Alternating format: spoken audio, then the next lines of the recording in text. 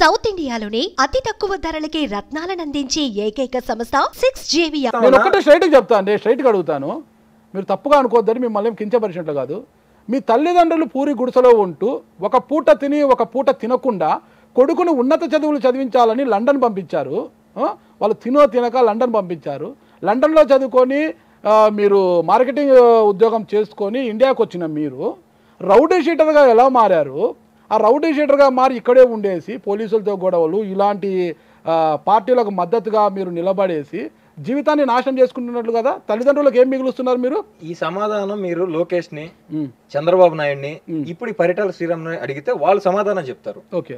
అంటే నన్ను అడిగిన క్వశ్చన్ ఎట్లాగా ఒక స్ట్రక్ డౌన్ చేసిన రెండు వేల పదిహేనులో స్ట్రక్ డౌన్ చేసిన సెక్షన్ తీసుకొని వచ్చి మీ ప్రభుత్వానికి వ్యతిరేకంగా తెలుగుదేశం ప్రభుత్వానికి వ్యతిరేకంగా ఫేస్బుక్లో యాక్టివ్గా ఉంటూ పోస్టులు పెడుతున్నాడని మీరు తప్పుడు కేసులు ఫైల్ చేసి ఇండియా వచ్చిన పది రోజుల్లో పది రోజుల్లో మూడు నాలుగు తప్పుడు కేసులు ఫైల్ చేసి రౌడీ షీట్ ఓపెన్ చేసి పాస్పోర్ట్ ఎలా సీజ్ చేస్తారో అని అప్పుడు ముఖ్యమంత్రిగా ఉన్న చంద్రబాబు నాయుడిని దానికి సూత్రధారిగా ఉన్న లోకేష్ని లేదంటే ఇట్లాంటి చిల్లర వ్యవహారాలు చేసే శ్రీరామ్ లాంటి వాళ్ళని అడిగితే మీకు మంచి సమాధానం దొరుకుతుందని నేను ఒక భావిస్తున్నాను అమ్మాయిని పదే పదే ప్రేమిస్తున్నానంటూ వేధిస్తున్నారనే కదా అప్పుడు మీ పైన రౌడీ షీట్ ఓపెన్ చేసింది? ఎవరు వాళ్ళని చెప్పమనండి అన్న. వాళ్ళకి వెళ్ళి ఎంత ఫినాన్షియల్ హెల్ప్ చేసి అమ్మాయి అనే వాళ్ళకి ఫినాన్షియల్గా హెల్ప్ చేసి అసలు వాడు వద్దు మేము చూసుకుంటామని వాళ్ళ పేరెంట్స్ని బెదిరించి వాళ్ళ పేరెంట్స్తో కేసులు పెట్టించి ఈ రోజు వాళ్ళు ఎక్కడ అడ్రస్ లేకుండా పోయారు? ఎందుకు అడ్రస్ లేకుండా పోయారు?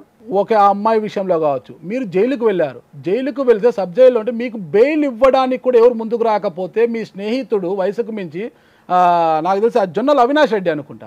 అవినాష్ రెడ్డి పాపం తన పొలము పేపర్లు తాకట్టు పెట్టి పూచికత్తుగా పెట్టి మిమ్మల్ని బయటికి బయటికి తీసుకొచ్చాడు. తర్వాత అయినా అరే తల్లిదండ్రులు చెప్పినట్టు కొన్ని కొన్ని లండన్ ఉన్నత విద్యను చదువుకున్నా నేను ఉద్యోగము చేసి తల్లిదండ్రులకు ఆసరాగా నిలబడాలి వాళ్ళ కళలను నేను నిజం చేయాలని కోరుకోకుండా ఈ రాజకీయ పార్టీలు కనుక తిరుక్కుంటా ఆ పార్టీకి ఈ పార్టీకి మధ్యలో ఉంటే ఏం లాభం? ఇప్పుడు వైసీపీలో మీరు ఉన్నారు ఉంటే ప- పద్ధతిగా పని చేసుకొని పోవాలి. అంటే ఇప్పుడు టవర్ క్లాస్ రోజు మీసాలు తిప్పి తొడలు కొడితే రేపు పొద్దున్న జగన్మోహన్ రెడ్డి గారు అబ్బా హరికృష్ణారెడ్డి నా కోసం తొడగొట్టాడా? నా కోసం మీసాలు తిప్పాను? ఎమ్మెల్యే టికెట్ ఎంపీ టికెట్ లేదంటే ఎమ్మెల్సీని ఇస్తాడనేమని ఆశనా మీకు? నాకు అసలు ఆశలు లేవన్నా. ఒకటే ఆశయం. మీరు అన్నారు కదా ఇందాక అవినాష్ రెడ్డి అనే వ్యక్తి అందరూ భయపడుతుంటే అతని స్థా- స్థాయికి కూడా వెళ్ళి బెయిల్ ఇప్పించాడని చెప్పేసి అంటే మీరు చెప్పిన చిన్నకి ఇందాక చెప్పారు కదా ఒక అమ్మాయిని ఏడిపించానని చెప్పేసి ఆ. కేసుకే బెయిల్ ఇవ్వడానికి భయపడేంత పరిస్థితి ఏర్పడింది అంటారా ఆ కేసుకే నిజంగా కేసులో అంతే ఉంటే తీవ్రత. వాళ్ళ వెనకాల ఏ రాజకీయ పార్టీలు ఏ రాజకీయ నాయకులు గవర్నమెంట్ లేకపోతే బెయిల్ ఇవ్వడానికి ఏదో చిన్న సెక్షన్ పెట్టి కేసో ఏదో అవుతుంది. మీరు చిన్న కుటుంబం మాకెందుకులే వాళ్ళతో చాలా మంది ఎన్నికిపోయి ఉండొచ్చు కదా మాకెందుకులే వాళ్ళతో అనవసరంగా ఆ పిల్లోడు లేనిపోని అదే ఎరుక్కున్నాడు అనేసి. ఆ, మీరు మరి భయపడే పరిస్థితి ఎందుకు వచ్చింది మీరు? ఎందుకు ఆలోచించలేదు? నా తల్లిదండ్రులు చేసింది ఏంటి? నేను ప్రతిఫలంగా ఇచ్చేది ఏమిటి? మీరు అన్నారే మీరు ఏమి ఇస్తే నేను తిరిగి ఇస్తాము అనేసి. మీ తల్లిదండ్రులు మీకు ఇచ్చింది ఏంటి? మీ తల్లిదండ్రులకు మీరు ఏమి ఇస్తున్నారు? నా తల్లిదండ్రులకి ఏమి ఇవ్వగలనో? ఏమి ఇచ్చానో నాకు తెలుసు. ఏమి? పోలీస్ స్టేషన్లో కేసులు? నాగరాజు గారు నేను ఇంటరప్ట్ చెప్తానండి. ఒక సామాజిక బాధ్యతతో ఎన్నో వేల మంది యువకులు ఈ రాష్ట్రంలో అనేక రాజకీయ పార్టీల్లో పనిచేస్తా ఉన్నారు. ఓకే. వారు నమ్మిన సిద్ధాంతాలు ఆ పార్టీ అధినాయకునికి ఉండడము ఆ పార్టీకి ఉండడం వల్ల ఆ సిద్ధాంతాల కోసం పనిచేస్తున్నారు. ప్రజల కోసం పనిచేసేటువంటి వైఎస్ కుటుంబం వెనక నడవడానికి ఈ రాష్ట్రంలో వేల మంది లక్షల మంది జగన్మోహన్ రెడ్డిని ఎన్నడూ కలవని వాళ్ళు రాజశేఖర రెడ్డిని ఎన్నడూ చూడని వాళ్ళు కూడా రెండు వేల పద్నాలుగు పంతొమ్మిది మధ్య జగన్మోహన్ రెడ్డి గారి కోసం పనిచేశారు. ఆ రకంగా లక్షలాది మందిని అందరినీ కూడా మీరు ఇదే క్వశ్చన్ చేస్తారా? మీరు మీ కుటుంబాలను వదిలిపెట్టి జగన్మోహన్ రెడ్డి కోసం ఎందుకు పనిచేశారు అనేది? ఒక సామాన్య కుటుంబము. అవును? అందరూ సామాన్య. కుటుంబాలే. సామాన్య కుటుంబమే. ఆయనది నా ఆయనది సామాన్య కుటుంబమే నాది సామాన్య కుటుంబమే. ఎవరైనా కానీ ఎవరైనా కానీ ఒక ఒక ఒక మంచి చేయాలా ప్రజలకు మంచి చేయాలనే ఉద్దేశంతో రాజకీయాల్లోకి వస్తారు. హౌ కెన్ యూ క్వశ్చన్ వాళ్ళ ఇంటి వాతావరణం ఇది. కానిస్టేబుల్ వచ్చి కూర్చొని వాళ్ళ ఇంటి అంటే వాతావరణం మీకు ఇంకా క్లారిటీ రాలేదేమో సార్. అది బేసిక్గా మాది రైతు కుటుంబం. అదే. అది మా పశువులు కొట్టం. ఓకే. మా ఇంటిని ఆనుకొని మా పశువులు కొట్టం ఉంటది. మీరు అది చూసి అదే మా ఇల్లు అనుకొని ఉన్నారేమో. ఆ, వాతావరణం వా- చెప్తున్నా. నేను అదే చెప్తున్నా, అలాంటి పరిస్థితుల్లో ఉన్న అతను తల్లిదండ్రుల మాట విని హ్యాపీగా ఉండకుండా ఒక రాజకీయ పార్టీలో ఉంటూ తప్పేం కాదు రాజకీయ పార్టీలో మద్దతు పలకడము. ఈ గొడవలేంటి కేసులేంటి? అదే సార్ మేము అడుగుతుంది. వాళ్ళు అంటే ఇచ్చిందే ఒక- వ్యక్తిని ఒక నాయకుడిని మేము అభిమానిస్తే మీరు అట్లా చేయడం తప్పు. మీరు అంతే అభిమానిస్తే మీ మీద మేము కేసులు పెడతాం. మిమ్మల్ని మేము భయపెడతాం. మిమ్మల్ని ఇబ్బంది పెడతాం. అనే ధోరణికి వాళ్ళు వెళ్ళినప్పుడు వెళ్ళారు కాబట్టి నేను బాధింపబడ్డాను కాబట్టి నా జీవితంలో నేను అనుకున్న మీరు అన్నారు కదా కష్టపడి చదివిస్తే ఆ చదువు చదువు వల్ల వచ్చిన ఉద్యోగం విదేశాల్లో ఉన్న ఆ లైఫ్ కోల్పోయాను కాబట్టి ఇదే క్రమంలో మా నాన్నగారిని కూడా నేను కోల్పోయి నాకంటూ మిగిలింది ఇంకేమీ లేదు. అప్పుడు నేను డిసైడ్ అయ్యాను ఖచ్చితంగా వాళ్ళు ఏదైతే కోరుకున్నారో అదే ఇద్దాం. ఇంకా నాలాగా ఎంతో మందిని బాధింప పెట్టుంటారు వాళ్ళందరికీ భరోసాగా నిలవాలా? మన సాయ సా- మనకు చేతనైనంత సాయం చేయాలా వాళ్ళకి? తోడుగా నిలవాలి. అట్లానే ఏదైతే ఈ జగన్మోహన్ రెడ్డి గారి గవర్నమెంట్ ఉందో ఈయన అభిమానించడం వల్లనే నన్ను ఇబ్బంది పెడతారంటే ఇబ్బంది పెట్టారు అంటే నేను మళ్ళీ మళ్ళీ అదే చేస్తా. ఆయన ఆయన వెంట నేను నడుస్తాను. మీరు అన్నారు ఇప్పుడు నాకంటూ ఏం లేదన్న నాకు ఆశలు కోరికలు ఆశయాలు ఏమీ లేవు. ఉన్నదల్లా ఒకటే కోరిక.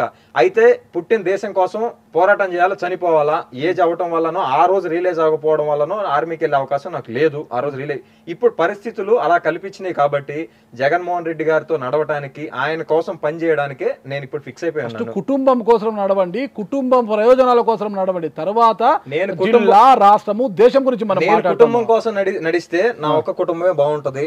పోనీ మా మా నా తండ్రి గారు నాకు ఇటు దూరం అయ్యారు ఇప్పుడు మా తల్లి గారు ఉన్నారు మా తమ్ముడు చూసుకుంటున్నారు ఇబ్బంది లేదు. వ్యవసాయం చేసుకుంటాం వ్యవసాయం చేసుకుంటే ఇబ్బంది లేదు. మేము ఈ రోజు కూడా వ్యవసాయ కుటుంబమే ఇప్పటికైనా సరే వ్యవసాయం మా జీవనాధారం మేము వ్యవసాయాన్ని మాత్రం ఎంత ఎత్తుకెదిగినా వదిలిపెట్టాం అందులో సమస్య లేదు. కాబట్టి ఒకరు ఇంటికి ఇంకొక రాష్ట్రానికి జగన్మోహన్ రెడ్డి గారి కోసమని మేము డిసైడ్ అయ్యి మా తమ్ముడికి కూడా నేను అదే మాట చెప్పి ఇవాళ రోజున బయటికి వచ్చి నేను పార్టీ కోసం పనిచేస్తున్నాను జగన్మోహన్ రెడ్డి గారి కోసం పని చేస్తున్నాను చచ్చిపోయే వరకు చేస్తూనే ఉంటాను ఓకే. దానివల్ల వచ్చే లాభం ఏంటి? లా ఆయన బాగుంటే రాష్ట్రం బాగుండేది సార్. Okay okay. నాలాంటి వాళ్ళు ఇంకో వేల మంది తయారవుతారు ఇంకా. ఓకే. కాపాడుకోవడానికి నాయకుడిని కాపాడుకోవడానికి. ఓకే. ఇలాంటి వాళ్ళని మీరు రెచ్చగొట్టబట్టి ఇలాంటి యూత్ అంతా చూడు కూడా నారాజన్న ఈ- ఈ రోజు మీ ఇంటర్వ్యూలో మీరు నిజంగా చాలా వాస్తవ దూరంగా మాట్లాడినారు. ఇప్పుడు కమ్యూనిస్టులు ఎలా తయారయ్యారు? ప్రజల కోసం మేము ప్రాణాలు ఇచ్చాయినా కూడా సమ సమాజం స్థాపన చేస్తాం. ఆ రోజుల్లో కమ్యూనిస్టులు ఈ రోజు ఫ్యూడలిస్టులు అయినారు ఆ, కమ్యూనిస్టుల పేర్లు చెప్పుకొని ఈ రోజు వేల కోట్లకి ఎదిగినారు మేము నక్సలైట్ కుటుంబాల నుంచి వచ్చినామని చెప్పి పరిటాల కుటుంబం లాంటి వాళ్ళు వేల కోట్లకి ఎదిగిపోయినారు.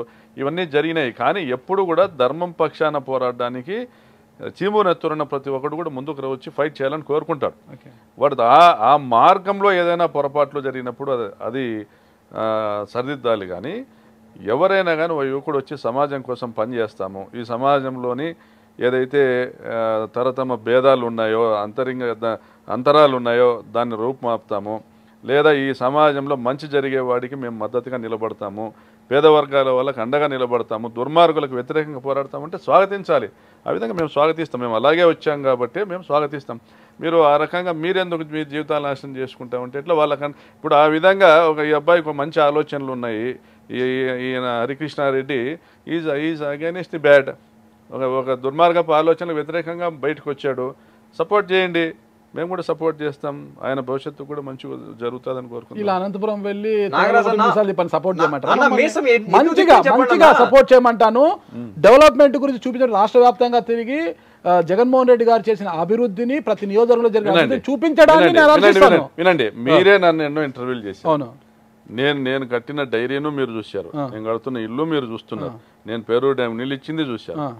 మీ ద్వారా అవి ఎంత ఎన్ని వేల మందికి రాష్ట్ర ప్రజలకు చేరుంటాయి అవి ఈరోజు ఈ- ఈ అబ్బాయి వెళ్ళి ఒక కాంట్రవర్సీ అయ్యిండొచ్చు. ఈ అబ్బాయి వెళ్ళి హరికృష్ణారెడ్డి వెళ్ళి దాన్ని సోషల్ మీడియాలో ఎక్స్పోజ్ చేస్తే దాదాపు పదిహేను ఇరవై లక్షల మంది రాష్ట్ర ప్రజలకు అవి వాస్తవాలు తెలిసాయి.